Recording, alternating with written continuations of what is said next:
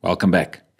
In this video, we will have a look at how can we log in this users that we managed to register in the previous video. So in the previous video, we created two users, chuck.norris at gmail.com and chuck at gmail.com. Both users created successfully, and for both users, we can also see there's entries in our to-do entry table. Both of them will have empty to-do lists. Right, so back at Visual Studio or in Visual Studio, we've got our user service dot dart class or file there, user service dot dart, and we have completed the check if user exists and the create user. So what we're going to do in this video is to create this function called login user. So for this function login user, we accept a username and a password to log in the specific person. Okay, so we will start off with the result being okay and then return the result at the end. So currently it will just return back okay. So like we did with the create user, as soon as we get into this function, we want to start showing the progress and setting some user progress text. So I'm going to copy that and let's go into this login user and we're also going to set the user progress to true and the user progress text to not creating a new user. So we will change this a bit to say something like busy logging you in or signing you in, please wait. After this, we will still need to notify all the listeners to know that we should start showing that progress bar or the progress indicator. Right, so the next step will now actually be to try and log in this user. So for this, we're going to use a backendless user class and for this backendless user class, it can be nullable, so just add your question mark there. Let's call this user because we're going to get back some data and we want to check if that data that comes back is in fact a backendless user or if it is something that's null, which means we could not log in that user. So we're going to say backendless user, name it whatever you want, and then we need to await. And you'll see because we have the await keyword, we'll need to have asynchronous with this function login user. So we're going to say Backendless dot user service. And if you put the dot there, you will see there's a few things that we can do. We can get the current user. We can check if it is a valid login and we can log in. So this is what we want to do. We want to log in this person. Now let's hover over this login function. You can see if you hover over it, we need to have login and password. And then there's a Boolean that says stay logged in, true or false. And you can see that that stay logged in is set to false right from the start, which means you do not have to indicate stay logged in at all. But if you want to have the user stay logged in, then you will set that value to true. And in our case, we will actually do that. So that the next time that the user wants to use the app, it doesn't need to log in again. Right, so for the first part, which is the login there, that will actually be the username of the person that you want to log in. So we pass through the username here. So I'm just going to use the username there. And the second one is the password. But because we want to also make sure that the user do not need to sign in every single time, we will also add that stay logged in. We set that stay logged in to true. Right, so this one line will actually now log in the user. But if we want to do some error handling, we will just put the dot there and have some error handling there as well. Again, I'm just going to use the opening and the closing braces there for the error. If there is an error that occurred, I'm going to set that result to this error. So I'm going to call that get human readable error again, and I will send through this error message. And so in this case, we're going to say error dot to string. Right, so that will take care of any errors that happens when we're trying to log in this user and we're setting the result. So if we try to log in the user and something went wrong, the result will have that error message and that is what we will be returning. If not, the result will still be okay. Right, so this is how you log in a user. You go to the user service, you call the login function, you pass in the username and the password. And by the way, your username here could be the email. So that's the one that you set as your identity. So it could be a username, it could be an email, it could be whatever. In our case, we called it username, but it's in fact an email address. Right, then we have the error, and we will catch that error inside of this result. Right, so after this line then, we can go and check that user object. So I'm going to say if the user is not equal to null, then we know that we actually have a user here. So then I'm going to go to my current user. So remember, we've got a variable there at the top that's called current user, and we're going to set that current user to the user that is now logged in. So at this stage, we will not be listening to this current user. So I'm not going to say notify listeners like I did there. But I will be able to still get the value of current user by calling the getter method there or the getter function. Right, and then directly after that if statement, we will then go and set the show user progress to false so that the progress bar or the progress indicator will stop on the screen. Then we will say notify listeners again just to make sure that we know that this one has changed and we can remove that app progress indicator. At the end, we will just return back the result. So let me just remove these empty lines. So we start off with the result as being okay. We start showing the progress. We start showing the text or we're changing the text. So remember, we could still be at this text, for example, creating a new user. So we'll need to change the text to whatever we're busy with. We notify the listeners, so it starts showing the progress indicator. We log in the user. So we're telling Backendless we want to keep this user logged in. And if there's an error, we will save the error into the result. Then we check if the user is not equal to null. We know that that user exists and the user is logged in. So we set the current user to this user object. We set the progress indicator to false. We remove the progress indicator. We notify the listeners and we return back the result. Okay, so that is how you log in a user using backendless. Now, in order to log in a user also, we will need to go to this helper class of ours. And you'll remember inside of the helper class, we've got this login user in UI. So this is the function we will call in the UI. In the login page, we will call login user in UI. But inside of this function, we will call this user service function called login user. Okay, so let's go to the helper and then we go into these brackets there. And this is how we will log in a user in the user interface. We will pass in the context, we will pass in an email address, and we will pass in a password. All right, so now the same thing that we did here. You can remember in the create new user, we used this line to just make sure that the keyboard actually closes down. So that will be my first line in here as well, as soon as the user clicks on the button and we call this function. Now we're going to test again if this email that was passed in is empty or the password that was passed in is empty. We will show the snack bar and the message will be please enter all fields. Or in this case, we can maybe just say enter both fields. Okay, after the if statement then, we can have an else. So the else means everything was typed correctly. We've got an email, we've got a password, and we can now try and log in this user. So remember that our login function this side, login user, returns back a result. So we will need to look at that result. So we will start off with a string result equals. We're going to use the await keyword, and that's why this function also needs to be an asynchronous function. And we're going to call context. Now, in this case, it's again using the provider to get that specific function for me. So we're going to read from which class? Well, in this case, it is the user service class. And we want to call one specific function there. And that one is login the user. It needs a username, so we're going to pass in the email there, but make sure that it's trimmed so that there's no white space. We also need the password, and also for the password, let's just trim it before we send it through. Right, and that's it. Now we've logged in the user, so now there's a result. So let's look at that result. If that result is not equal to OK, then we know something went wrong. So just uh, get that one correct there. Okay, so if the result is not equal to OK, we can show the snack bar and again show some message.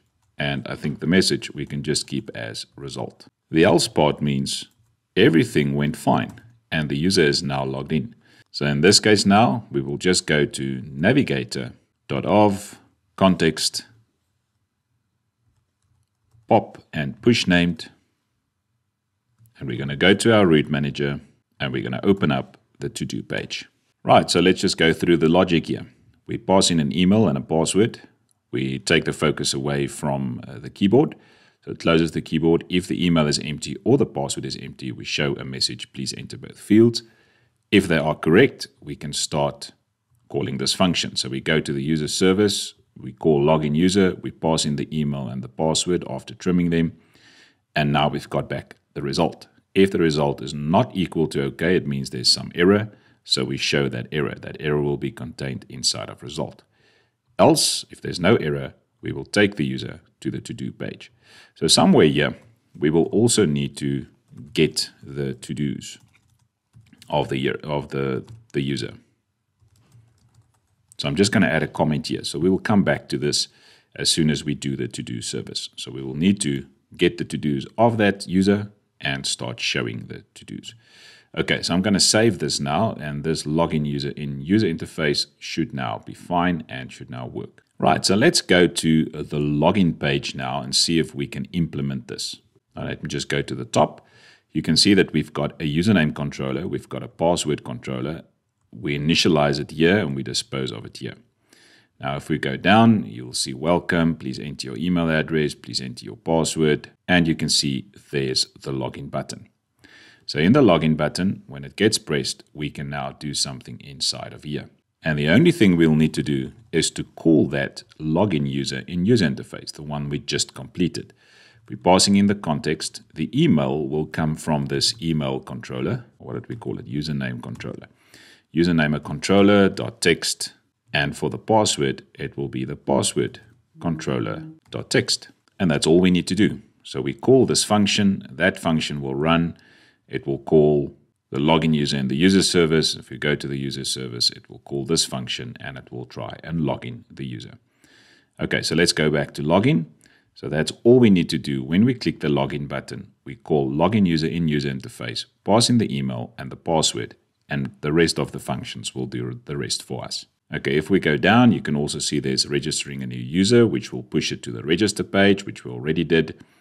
And now there's also reset password. So we will do this in a next video. Now, the only thing that we still need to do here is to show some form of a progress indicator.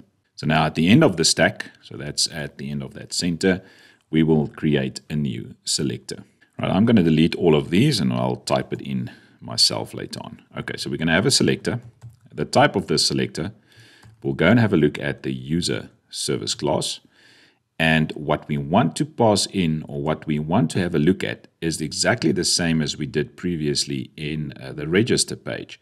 And that is we want to use a class called tuple2. So I'm going to explain a bit more inside of this example on how this tuple works again. Okay, so we're going to use tuple2 basically just means we're going to have two values that we're going to look at and which are the two values that we want to have a look at. So if you go back to user service, you see that we have called or changed show user progress and the user progress text. So it's those two that we want to look at. Okay, or we want to listen for. Now inside of these brackets, we will need a selector. And for the selector, we will have a context and we'll have a value. Now we will return back a tuple2, and for this tuple2, we'll need to have two items. So let's just hover over this value now, and you can see it's the user service class or that user service object. So inside of this value, we've got those values that we want to listen for. So we want to listen for the show user progress, and for item two, we want to go to value dot. We want to also look at user progress text. So those are the two values that we want to listen for. Let me just complete the builder and then we'll go through this one quickly again. So for the builder, we're going to use context. We will again have a value and we will have a child. Right. So for the builder then, inside of the builder, we will need to return something. So let's just have a look at this now. If I hover over value, you can see that's the tuple2 object that we have here. So the selector will have a value that is an object of the user service. Tuple2 now basically just tells me I will have two different items as this object. The first item will be value.showUserProgress. Remember, value is the class or the object user service. So going to user service dot show user progress is what I want to listen for. And the second value will be the user progress text. So what I can also do, I can make this one tuple 3. And I can make that one tuple 3 and then I can add a third value to listen for. So for example, I can go to value dot, let's say we want to listen for the current user. Okay, so you can use that tuple. Let me just go to the pubspec.yaml. You can see that I've included this package there, tuple. Okay, so you can use that package to help your provider provide more than just one value when you're using selector. Okay, so in this case, we will just be providing two values. So like the previous video where we did the registration page, uh, it's exactly the same thing. So we're going to use tuple 2. This one is the user service. So we want to listen for the show user progress and user progress text. In the builder then, that value is in fact this tuple 2 object. And this object has an item 1 and an item 2. Okay, so what we want to do is to go to value, which is the tuple, and you can see there's item 1 and item 2. So item 1 will be this show user progress. Item 2 will be user progress text. So firstly, we want to test that item 1. So that is that show user progress, whether it's true or false. If it is true, we want to start showing our up, app progress indicator. The text I want to show is in fact this user progress text. So if item 1 is the show user progress, then item 2, item 2, sorry, value dot item 2, item 2 will then be this user progress text. And then I can just end it off with a semicolon. Okay, and then the else part will be the container, which is just empty and then we can close it off with a semicolon. Okay, so what are we doing here? We're saying with the selector of provider, we're looking at two different values, listening for the show user progress and listening for the user progress text. Using tuple 2, I can listen to two different values, not just one, like we used to with selector. If we go into the builder, this value will then be this tuple object, which has an item 1 and an item 2. Item 1 is show user progress, item 2 is user progress text. So if value item 1, which is the show user progress, so if the show user progress is true, then we're going to show the app bar or the app progress indicator. And we will show the text as value.item2, which is the user progress text. Otherwise, if that show user progress is false, if it changes to false when we're done logging in the user, it will just show an empty container. Right, so when we run this application now, you can see that I can enter my email address here. Going back to backendless, if I have a look at my users table again, I can see that I've got two users here, chuck.norris and chuck at gmail.com. So let's just choose one of these two. I'm going to go with chuck at gmail.com. So that's the email address, chuck at gmail.com. And maybe if I make a mistake there, let's see what happens. I'm going to log in. Busy logging you in. Please wait. Please check your username or password. The combination do not match anything in the database. Okay, so I'm going to say com there and log in again. And you can see it directly takes me into the app. I'm not sure. I hope that password was 1, 2. I can't remember. Okay, so at this stage, I cannot log out the user. I cannot do anything here. Nothing else is working. But I logged in this user. Okay, so let's run this app again. If I rerun this app now, it takes me back to the login screen. So even though when we went to, or when we did the user service, and we included the true value there to say, keep the user logged in, you can still see that the user is not logged in. So let's just try this again. So it's going to be chuck at gmail.com. That's working. Uh, I'm going to add just the one as the password there and say login. And you can see, please check your username and password. Okay, so at this stage, 1, 2 is the correct password, and that will take me, or was it 1, 2, 3? I'm not sure. Let's take 1, 2, 3. Yes, and then we are inside of the app. Okay, but when we run the app again, you can see that it doesn't work. It does not keep me logged in. Okay, so there's a slight change that we need to make. So what we need to do is to go into the user service and we need to do this function called check if the user is logged in. Okay, so this we will do in the next video. So for this video then, we have completed login user and we can now successfully log in a user and take him to the to-do page.